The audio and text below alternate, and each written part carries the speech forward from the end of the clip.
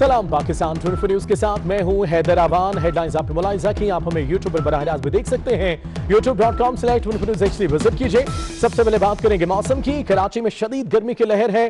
पारा चवालीस degree centigrade तक पहुँच गया है। समंदरी हवाएँ बंद होने से मौसम शदीद गर्म रहेगा।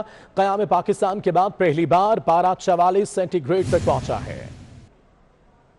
आपको बताते चलें कि कराची में शदीद गर्मी की लहर, पारा चवालीस डिग्री सेंटीग्रेड तक पहुँच गया है। समंदरी हवाएँ बंद होने से मौसम शदीद गर्म है। कयाम पाकिस्तान के बाद पहली बार पारा चवालीस डिग्री सेंटीग्रेड तक पहुँचा। पहले सबसे ज़्यादा दर्ज हरारत 16 अप्रैल उन्नीस सौ सैंतालीस को चवालीस आशारिया चार रिकॉर्ड किया गया था। शहर कायद में आज भी शदीद गर्मी का राज है। समंदरी हवाओं ने शहर से मुँह मोड़ लिया। शहरी जाएँ तो जाएँ कहाँ? शहर में गर्म, गर्द आलूद हवाएँ चल रही हैं। समंदरी हवाएँ बंद होने से आज भी मौसम शदीद गर्म रहेगा। माहरीन सेहत का कहना है, शहरी हीट स्ट्रोक से महफूज रहने के लिए हल्के कपड़े पहने। पानी का ज़्यादा इस्तेमाल करें, बाहर निकलने से गुरेज करें। आप पानी मुतवा पीते रहें और निमकोल का पानी या रिहाइड्रेशन पाउडर सॉल्ट डाल कर लें। क्योंकि इसमें निमकियात की भी बहुत कमी हो जाती है। जब डिहाइड्रेट होते हैं तो लोग, लोगों में निमकियात की कमी हो जाती है। आज कराची में कम से कम दर्जा हरारत 23 डिग्री सेंटीग्रेड रिकॉर्ड किया गया। महकमा मौसमियात ने शहरियों को एहतियाती तदाबीर इख्तियार करने की हिदायत जारी की है। कराची में हीट वेव के दौरान बढ़ता दर्जा हरारत शहरियों को समंदर किनारे ले आया। शहरी पानी में वक्त गुजारते हुए गर्मी के असरात से बचने की कोशिश कर रहे हैं। कराची में सख्त गर्मी है। हीट वेव के दौरान बढ़ता दर्जा हरारत शहरियों को समंदर के किनारे ले आया। इसे बर्बाद करेंगे समीन नवाज़ से। समीन बताएगा क्या इकदाम किए गर्मी से बचने के लिए शहरियों ने? जी बिल्कुल, देखिए, जिस तरह से महकमा महकमा मौसमियात की तरफ़ से कराची में पाँच रोज़ तक हीट वेव की लहर की पेशगोई की गई थी। आज पाँचवा रोज़ है और दर्जा हरारत आज भी इकतालीस डिग्री सेंटीग्रेड तक जाने के इम्कान ज़ाहिर किए जा रहे हैं। इस वक्त भी शदीद गर्मी है और लोग शहरी गर्मी से घबरा कर समंदर का रुख करते हुए यहाँ पर नज़र आ रहे हैं। मेरे साथ कैमरामैन शौकत अली अगर आपको दिखा सकें तो कुछ खातन मौजूद हैं जो कि पानी में खड़े होकर गर्मी की शिद्दत को कम करने की कोशिश कर रही हैं और वो ये चाहती हैं कि जो गर्मी का असर है वो कम से कम हो। कुछ बच्चे यहाँ पर आए हुए हैं, उनसे भी हम बात करना चाहेंगे। कहाँ से आए हुए हैं आप लोग? लाहौर से। लाहौर से आए हुए हैं तो समंदर पे आके कैसा लग रहा है आपको? अच्छा। अच्छा लग रहा है। गर्मी यहाँ ज़्यादा लग रही है नहीं लग रही गर्मी? नहीं लग रही। ठीक है बच्चे बहुत इंजॉय कर रहे हैं पानी में और कुछ खातन मेरे साथ यहाँ पे मौजूद है उनसे भी हम बात करेंगे। आप लोग बताइएगा कि पानी में समंदर पे आके कैसा लग रहा है? गर्मी की शिद्दत कुछ कम हुई? हाँ बहुत कम है। जितना सुना था उससे ज़्यादा कम है। सही है आपको कैसा लग रहा है समंदर पे आके? बहुत अच्छा लग रहा है। गर्मी कराची की कैसी लगी? कराची की गर्मी तो बहुत गर्मी है, लेकिन समुद्र पे आके ना गर्मी कम हुई है। बिल्कुल, बहुत गर्मी है और ये शहर से बाहर से आए हुए लोग हैं, लाहौर से आए हैं और उनका ये कहना है कि कराची में जो तो थी गर्मी के हवाले से, वो उससे खासी कम है, लेकिन समंदर पर आकर अब इस गर्मी का एहसास कम हो गया है। यहाँ पर कुछ खाने पीने के भी स्टॉल्स मौजूद हैं और यहाँ पर चने चाट के स्टॉल के ऊपर ज़रूर कुछ लोग नज़र आ रहे हैं, जो कि चाट खाते हुए और चाट बनवाते हुए नज़र आ रहे हैं और चटपटी से चाट इसके अलावा गोलगप्पे का भी यहाँ पर एक स्टॉल मौजूद है। यहाँ पर गोलगप्पों का भी अहतमाम है कि जो साहिल समंदर पर आकर गोलगप्पे खाना चाहें तो वो गोलगप्पे भी खा सकते हैं। और बिलखसूस अगर कराची में गर्मियाँ ज़्यादा हो जाएँ तो समंदर को वो जगह समझा जाता है जहाँ पर गर्मी की शिद्दत का एहसास कम होगा। लिहाजा इस वक्त भी एक बड़ी तादाद में लोग यहाँ पर आए हुए हैं और गर्मी की शिद्दत को कम करने के लिए पानी में डुबकियाँ लगाते हुए नज़र ठीक है सबसिलात के लिए बहुत शुक्रिया। कराची में गर्मी तो पड़ रही है लेकिन अब पत्थर पड़ना भी शुरू हो गए। कराची के मेवाशाह कब्रिस्तान में फजा से दो पुरस्कार पत्थर गिरने से गढ़े पड़ गए। आसमान से गुजरने वाली एक चीज़ सड़क पर लगी और एक फिट का गढ़ा पड़ गया। दूसरी पुरस्कार चीज़ कब्रिस्तान में गिरने से कब्रों को नुकसान पहुँचा। इलाके के लोग बड़ी तादाद में जमा हैं। खौफ हिरास फैला हुआ है और तशवीश की जा रही है कि क्या ये पत्थर है या फिर कोई शहाबिया गिरा या कोई धात है। कराची के मेवाशाह कब्रिस्तान में फजा से दो पुरस्कार पत्थर गिरने से गढ़े पड़ गए।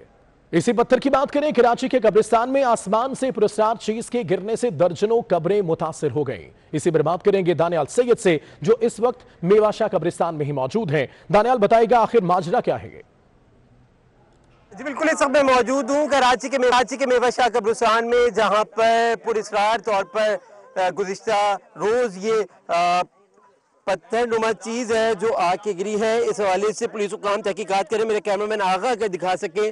कि ये इतना हैवी पत्थर है कि ये हिलाया नहीं जा रहा है और ये कहाँ से आया है, इस बारे में अब तक कोई मालूम नहीं मिल सकी। है इलाका मकीनों की एक बहुत बड़ी तादाद है जो मेवा शाह कब्रस्तान में यहाँ पर मौजूद है। ना सिर्फ़ ये जो पत्थर नामालूम चमचा आया है, ये पुरस्कार तौर पर यहाँ पे आके गिरा और ये कैमरा मैन आखा से कहूँगा नाजिर दिखा सकें कि ये स्लिप जो है कब्रों की एक कब्र नहीं दर्जनों कब्रें हैं जिनको नुकसान पहुँचा है। मेवा शाह जो कराची का नहीं बल्कि एशिया का सबसे बड़ा कब्रिस्तान माना जाता है। उसमें अ, ये वाक़ रुनमा हुआ है। ये मुकम्मल तौर पर बेशतर कब्रें हैं कि जिनके कहीं के खुतबे कहीं की कब्रें जो हैं शदीद मुतासर हुई है। नामालूम चम से ये शहर जो है यहाँ के गिरी है। तीन मुख्तलि मकाम हैं। दो मेवा शाह कब्रिस्तान के मकाम हैं और एक गनी जारंगी के करीब फैक्ट्री है, जिसमें आके गिरा है। नामालूम से जिसकी वजह से कोई जानी नुकसान तो अब तक नहीं हुआ है, लेकिन ये नुकसान जो है वो कई हुए कुछ लोग हमारे साथ मौजूद हैं, उनसे मजीद जानते भाई, ये बताइएगा कब ये वाक़ हुआ है? इसकी आवाज़ आपको आई थी क्या? हाँ दस बजे इसके वाक़ हुआ है ये ऊपर से ऐसा आ रहा था ना, घूम घूम के हम लोगों ने बोला, शायद हेलीकॉप्टर है। ना, ऐसा ही ये नीचे आया, धमाका कर दिया, सारा धुआँ मुआ औरत लोग भाग रहा था, फिर हम बच्चे बच्चे, सारा इधर कोप ज़्यादा हो गया। हम लोग कोप ज़्यादा इसलिए हो गया कि आज ये हो, कल दूसरा चीज़ नहीं हुआ नहीं गिरे, आसमान से आ रहा था ऊपर से। जी, बिल्कुल, ये अहले इलाका है, जिनका कहना है कि गुज़श्ता रोज़ ये वाक़ हुआ है। कुछ और शहरी भी हमारे साथ मौजूद हैं। कोशिश करेंगे कि उनसे बात कर सकें। भाई, ये बताएगा, कब ये वाक़ रूनमा हुआ? ये वाकया हुआ तकरीबन साढ़े दस ग्यारह के करीब। ऐसे ही कुछ मतलब वक्त था, साढ़े दस ग्यारह बजे। तो एक जोरदार आवाज़ हुआ था। तो मतलब ऐसे मतलब कोफ कोफ हो गया तो भागते हुए देखा कि यहाँ पे इतनी बड़ी बड़ी भाई, लोहे जैसी मतलब भीड़ की है ये। तो एक यहाँ गिरी है, एक बाहर भी गिरी है। तो इतनी बारी के हम लोग कोफ है कि कहीं दूसरा कोई और ना गिरे। क्या चीज़ है? कहाँ से है? ये हमें कुछ हल में नहीं और हम कोफ कोफ में मुबतला है जो है। जी, बिल्कुल, ये अहले इलाका है जो खौफ में मुबतला है। मैं अपने कैमरामैन आगा से कहूँगा कि बाहर जो कब्रिस्तान के अहाते से बाहर भी एक मकाम है जहाँ पर यही चीज़ जो है पुरसरार तरीके से ये चीज़ आके गिरी है। ये किस तरीके से यहाँ पे आई है? इस हवाले से पुलिस हुकाम जो है, वो तहकीकत कर रहे हैं। पुरसरार है अब तक ये तमाम का तमाम तर मामला कैमरामैन आगा दिखा सकते हैं कि लोगों की एक बड़ी तादाद है। जो यहाँ पर मौजूद है, अहले इलाका का कहना है कि जब ये चीज़ जब यहाँ पर गिरी तो इलाके में शदीद धमाके की जो है वो आवाज़ भी आई। धमाके की आवाज़ आने के बाद यहाँ से मट्टी भी उड़ी और उसके बाद जब लोग यहाँ पर पहुँचे तो उन्होंने देखा कि ये एक शय है जो यहाँ पे गिरी है और उसकी वजह से कब्रें मुतासर हुई हैं। ये पानी वाले बाबा की दरगाह है और इससे बिल्कुल अहम मुतसिल ये तमाम तर वाक़ हुआ है। शेर शाह मेवा शाह कब्रुस्तान जो इंतहाई वसी और अरीज रकबे के ऊपर बनाया गया है। रेंजर्स के जवान जो है, यहाँ पर पहुँचे हैं और तफसीलात इकट्ठी की जा रही हैं। एक वो हमने आपको मकाम दिखाया, दूसरा मकाम जो है ये है जहाँ पर यही चीज़ जो है पुरस्रार तौर पर आके गिरी और ये गड्ढा भी जो है यहाँ पे हो गया है। मैं कैमरा मैन आगा से कहूँगा कि मनाजिर दिखा सके। यहाँ पे लोगों की एक बहुत बड़ी तादाद मौजूद है। ये ये चीज़ जो है ये आके धस गई है। बाबा ये बताइएगा क्या वाक्य है क्या समझते हैं आप इस बारे में? ये शुरू में धमाका जब हुआ हमने उन्हें समझा हेलीकॉप्टर आ रहा है। उसमें धमाका हुआ जब हम लोग करीब में आए तो ये चीज़ वाक़ हुआ है। एक टुकड़ा यहाँ दस गया एक आगे। ये मसला है। जी इलाका मकीन है खौफ और इराज का शिकार है। और एक अंदर कुछ फासले पे आके गिरा चंद कदम के फासले पे एक आके गिरा और यहीं से कुछ फासले पर तकरीबन डेढ़ किलोमीटर फासले पर दूर गनी चौरंगी वहाँ पे एक फैक्ट्री में आके गिराई है। यही पुर- पुरस्कार चीज़ जिसके बारे में कानून नाफिज करने वाले इदारे ठीक है दानियाल सैयद हमें अपडेट कर रहे थे मेवाशाह कब्रिस्तान से। नाजरीन आप भी मुलायजा कर रहे हैं कराची के मेवाशाह कब्रिस्तान में फजा से दो पुरस्कार पत्थर गिरने से गढ़े पड़ गए हैं। आप टेलीविज़न स्क्रीन पर ये तीन वो जगह मुलायजा कर सकते हैं जहाँ पर ये पत्थर गिरा है। ये पुरस्कार पत्थर आखिर है क्या? ये पत्थर है कोई धात है? लेकिन यहाँ के जो रिहायशी हैं उनका ये कहना है कि हमने आसमान से गिरती हुई एक चीज़ घूमती हुई देखी। हम ये समझे कि ये हेलीकॉप्टर है, मगर ये पत्थर था और जब ये ज़मीन पर गिरा तो जोरदार धमाका सुनने में आया। कराची के इलाके शेरशाह में घर पर गिरने वाले पुरस्कार कंक्रीट ने तबाही मचा दी। तीन मंजिला इमारत को बुरी तरह नुकसान पहुँचा। तफसीलात के लिए बात करते हैं फैसल खान से। जी फैसल। में मौजूद है, जहाँ पर एक एक तीन मंजिला इमारत है, आप देख सकते हैं कि यहाँ पर ये एक पत्थर आकर गिरा है। जिसके बाद इसकी हालत ये है कि तीन मंजिला इमारत की तीनों छतें तोड़ता हुआ यहाँ पर गिरा है। इस वक्त यहाँ पर कोई जानी नुकसान तो नहीं हुआ, लेकिन आप इसकी खतरनाक ये देखें कि कितना खतरनाक था ये कि इसने पूरी छत को फाड़ा है ऊपर से लेके नीचे तक, और ये दीवार तक टूट गई है, और इसमें बाकायदा क्रैक्स हैं। ये इधर आकर गिरा है, गली के अंदर है शेरशाह की एक इसी तरह ये यहाँ पर जो पुलिस है उनका इसको पूरा कॉर्डन किया हुआ और इसको दूर कर रहे हैं। आप ये पत्थर देख सकते हैं कि ये पत्थर कितना वजनी है। बाज़ार तो एक छोटा सा पत्थर लग रहा है लेकिन ये इस कदर वजनी है कि इसको यहाँ से उठाया नहीं जा सकता। ठीक ठाक वज़न है इसका। और ये, बाज़ार तो एक सीमेंट का कॉन्क्रीट का एक ये पत्थर लग रहा है लेकिन यहाँ पर जो डीसी हैं उनकी जानब से भी ये कहा जा रहा है कि ये अकल इस बात को तस्लीम करने को तैयार नहीं कि ये जो है कोई बॉयलर का है या किसी आग की गिरा क्योंकि ये एक अजीब और गरीब सही मामला है और इस पर अब तहकीकात की जा रही है। हुकाम यहाँ पर जो पुलिस के हुकाम है, उन्होंने इसको पूरा कॉर्डन कर दिया किसी को यहाँ अब जो है गैर मुतल अफराद को यहाँ आने की इजाज़त नहीं है। तो इस वक्त ये पत्थर यहाँ मौजूद है और सूरत आप देख सकते हैं कि इस तरफ़ ये पूरे तीन मंजिला घर की क्या है। जी। ठीक है फैसल बहुत शुक्रिया। और तमाम तर सूरत हाल पर एसएसपी साइड जवार हुसैन का क्या कहना है? आइए आपको दिखाते हैं। भजन इसकी कोई लंबाई चौड़ाई इतनी ज़्यादा नहीं है। ये तकरीबन ढाई फुट होगा और मोटाई इसकी होगी कोई एक फुट या डेढ़ फुट। तो हम तो ये समझे थे कि ये मजदूर उठा लेंगे। लेकिन जब वो उठाने लगे तो वो तो उनसे हिला भी नहीं है।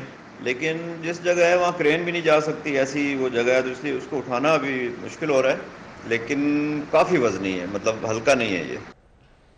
इसी हवाले से अगर बात करें, स्पार्को ने पुरस्कार रशिया के आसमान से गिरने के इम्कान को मुस्तरद कर दिया है। स्पार्को हुकाम का कहना है कि कराची के मुख्तलिफ़ इलाकों में गिरने वाली चीज़ बजाहिर मेटल है। हतमी राय तहकीक के बाद ही दी जाएगी। स्पार्को ने पुरस्कार अशिया के आसमान से गिरने के इम्कान को मुस्तरद कर दिया। स्पार्को हुकाम का कहना है, कराची के मुख्तलिफ़ इलाकों में गिरने वाली ये चीज़ बजाहिर मेटल है। हतमी राय तहकीक के बाद ही दी जाएगी। दूसरी जानब, स्पार्को ने इस बात की नफी की है कि यह आसमानी मामला है। स्पार्को का कहना है कि धाती टुकड़े जो आसमान से नहीं गिरते हैं स्पार्को के मुताबिक हतमी राय तहकीक के बाद ही दी जाएगी। बजाहिर नज़र आने वाली भारी पुरस्कार चीज़ें मेटल के टुकड़े हैं, लेकिन जो भी कहा जाएगा वो तहकीक के बाद ही सामने आएगा। स्पार्को ने पुरस्कार अशिया के आसमान से गिरने के इम्कान को मुस्तरद कर दिया है।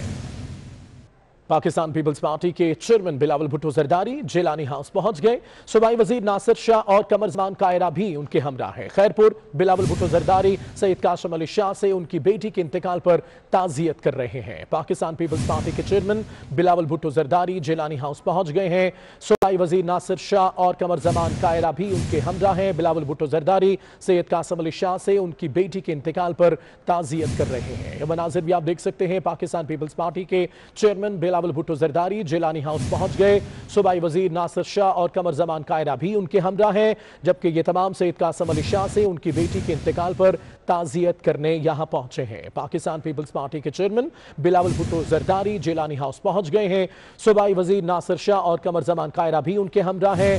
खैरपुर के ये मनाजिर बिलावल भुट्टो जरदारी, सैयद कायम अली शाह से उनकी बेटी के इंतकाल पर ताजियत करने यहाँ पहुँचे हैं। वाज़ेह रहे कि सूबाई वज़ीर नासिर शाह और कमर जमान कायरा भी हाँ उनके हमरा मौजूद हैं। इसी पर बात करेंगे। वकार हुसैन मंगी हमारे साथ है। वकार, बताएगा बिलावल भुट्टो ताजियत के लिए पहुँचे, क्या तफसी है? जी, बिल्कुल पाकिस्तान पीपल्स पार्टी के चेयरमैन बिलाल भुट्टो जरदारी जो है वो जिला न्याज पहुँच गए पीपल्स पार्टी के चेयरमैन सबक वजी हसन सैद कायम अली शाह की बेटी और रुकन कौमी असम्बली तक नफीदा का हमशीरा के इंतकाल पर जो ताजियत की है। बिलाल भट्टो कैमरा सुबह वज़ीर नासिर शाह निसार खोड़ो अवेस कादिर शाह बिन कैमरा हमरा बिलाल भट्टो जरदारी अभी कुछ देर में प्रेस कॉन्फ्रेंस करेंगे। उसके बाद ही जो बिलाल भट्टो जरदारी पार्क और शाह से नवर हेड ब्रिज का जो है वो इब्तदा भी ठीक है आपका। सबक वजी आज़म शाहिद खाकान अब्बासी का कहना है, नून लीग यूसुफ रजा गिलानी को सेनेट में कायदे हिजब इख्तलाफ तस्लीम नहीं करेगी।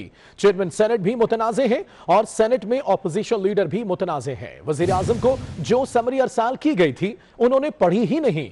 क्या चीनी की कीमत के बदले कश्मीर का सौदा किया गया?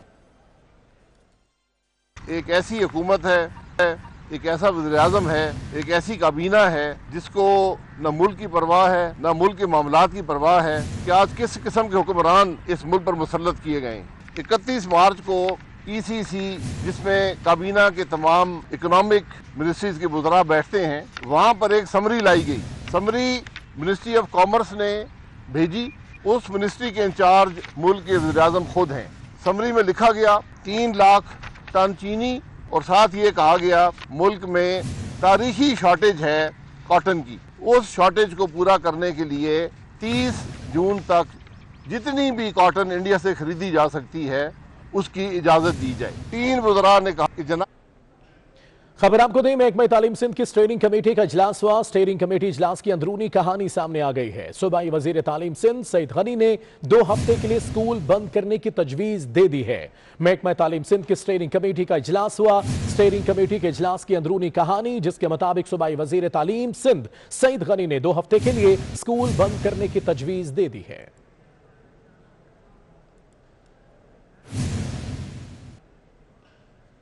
पंजाब हुकूमत ने कोरोना वैक्सीन की तैयारी का अमल शुरू कर दिया। University of veterinary and animal sciences में बाकायदा तैयारी शुरू कर दी गई है। कोरोना वैक्सीन की तैयारी के लिए हुकूमत ने 10 करोड़ रुपए का बजट भी मंजूर कर लिया। बात करेंगे अली रामे से। अली रामे, बताएगा किस तरह के इकदाम किए जा रहे हैं?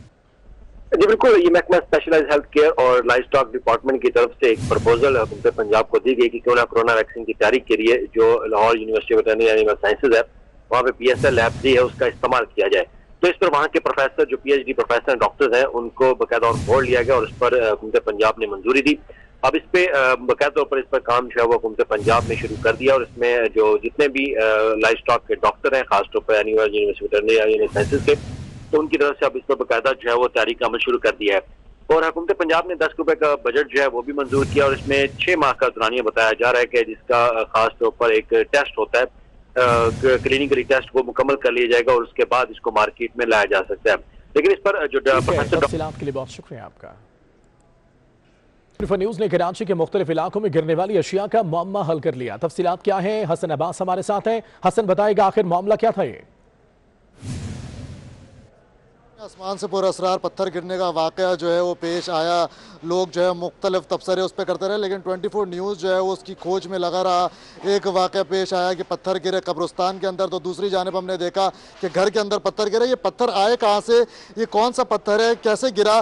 तमाम तर तफसीत और मामला जो है हमने हल किया है। सबसे पहले तो आपको पत्थर दिखाएँ कि ये वो पत्थर है जो कब्रस्तान में गिरा है घर में गिरा है और जो है वो दीगर जगहों पे जो है वो गिरा है। तीन मकाम जो हैं वो बताए जा रहे हैं। ये दरअसल फैक्ट्री है जहाँ पर सरिया बनाया जाता है और हमने यहाँ पे देखा है कि ये पत्थर उस व्हील के अंदर लगता है। अगर मेरे कैमरा मैन आपको थोड़ा सा जूम करके दिखाएँ तो ये फ्राई व्हील के अंदर लगाया जाता है और इसको जो है ये भी स्टील का बना हुआ होता है और कई टन इसका जो है वो वज़न होता है। असिस्टेंट कमिश्नर साइट एरिया भी यहाँ पर पहुँचे हैं।